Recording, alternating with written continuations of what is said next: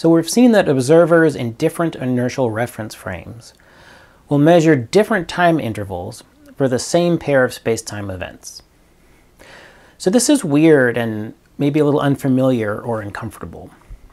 So in order to start to wrap our heads around this phenomena, we're going to leave space-time for a little bit and just focus on space, an ordinary map. And we're going to develop a couple of concepts there geometric concepts in the, in the context of maps.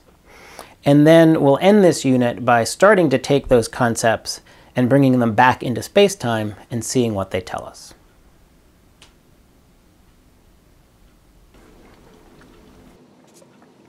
So let's look at a map, an old-fashioned map of space, not space-time. So this is a map of part of New York City, and um, I chose this for several reasons. Um, one is that I was lucky enough to grow up in this part of New York, and I've been thinking about it a lot because it's, um, or New York in general, not necessarily this part of New York, is one of the epicenters for the um, COVID-19 um, epidemic.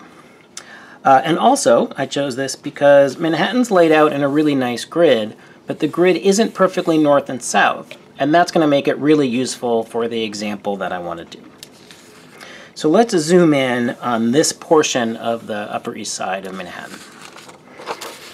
And I'm going to focus on two locations.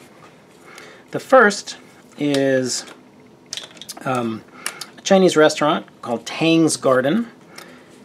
It's going to be right here. And um, it's known for having really good cold sesame noodles, a, a dish that's a New York City specialty. And then the other um, place we'll focus on is over here, H&H Bagels, which is one of the best bagel shops in New York. Um, there are lots of good ones though. Um, uh, so this H&H is over here. And just to make the example clearer, even though it's not right on the corner, let's imagine H&H is right on the corner here. So what we're going to do a couple different ways is describe how to get from Tang's to H&H. So in New York, we would often say this direction is north. I mean, it's not really north, that's north, but we take this to be functionally north. Sometimes we would say this is uptown, and this we could call east or crosstown. So that describes a coordinate system. So let me draw that on in red, I guess.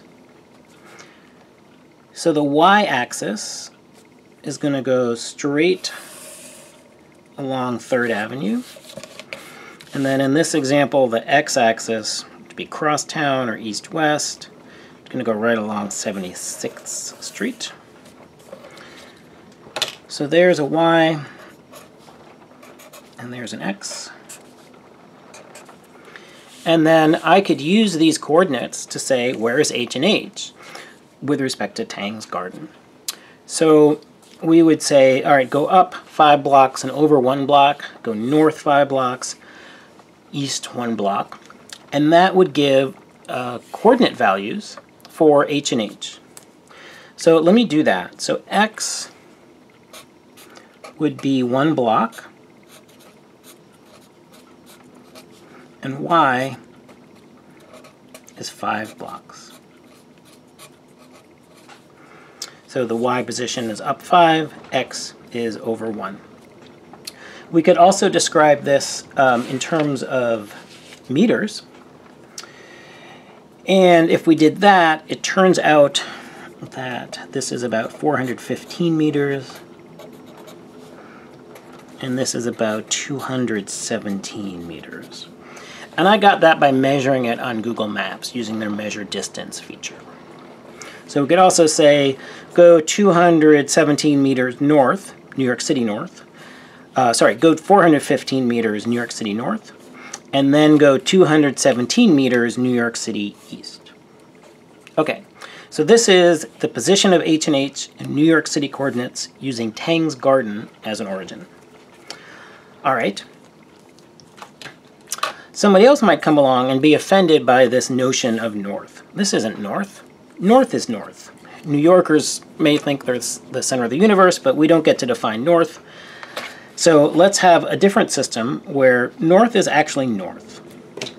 So let me draw that on. So then um, this would be my y, actual north, and x would be actual east-west, not New York City. It doesn't line up with the grid, but it does line up with what everybody else thinks of as north and south.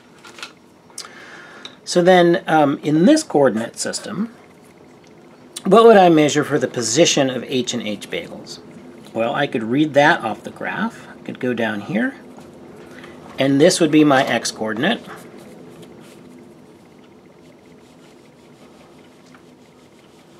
And I could go over here, and that would be my y-coordinate. And again, you could measure this distance on Google Maps. You can measure this distance on Google Maps. And if you do so, you will get approximately this. Let's see, x is now around 390 meters. And y is around 263 meters.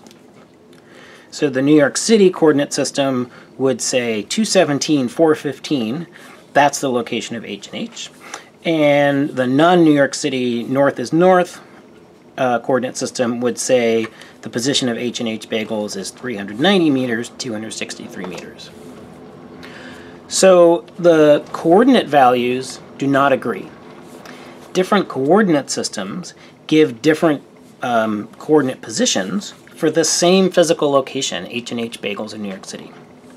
In the same way, different observers in different inertial reference frames might have different times and positions for an event in space-time. So again, to summarize this example, different coordinate systems, different sets of axes, will give different values for the same point in space on a map.